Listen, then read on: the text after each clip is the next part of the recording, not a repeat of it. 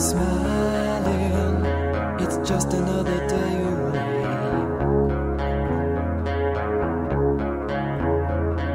Calling, the loudest voice is the one that's in your face.